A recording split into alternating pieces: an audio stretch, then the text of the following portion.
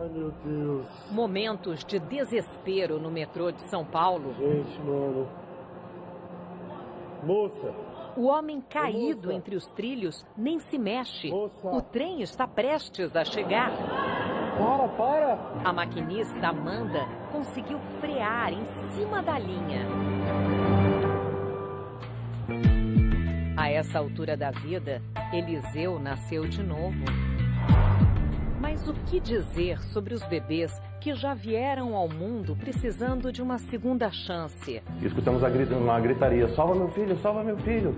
O bebê de 21 dias estava sufocando. A terceira tentativa eu senti com a minha mão esquerda o coraçãozinho batendo. Aí o Thiago falou: voltou, voltou. O reflexo rápido diante do perigo salvou a vida de outro bebê, dessa vez na Turquia. A câmera de segurança não mostra, mas um bebê estava prestes a cair do segundo andar. Só o jovem se dá conta. A menina de dois anos não sofreu nenhum arranhão. Dá para acreditar, tem um homem ali nas ferragens. Calma, está ouvindo, calma, senhor. Foram mais de três horas de resgate. Como é que ele conseguiu sair daqui sem nenhuma fratura? Flagrantes absurdos nos deixaram sem palavras. Isso é furto? A denúncia do pessoal é furto? É exatamente isso. Dois guindastes e um maçarico sendo usados no furto de uma caixa d'água de 30 metros de altura e 22 toneladas.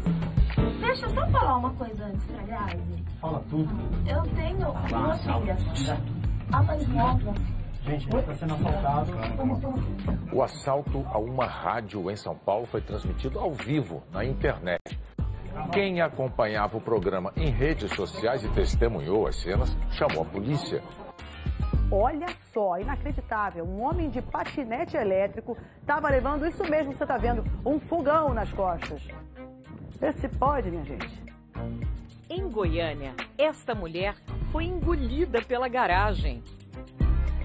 Assim, no começo eu fiquei assim, um pouco chateada, porque foi uma repercussão muito grande. Mas depois eu me senti feliz, sabe por quê?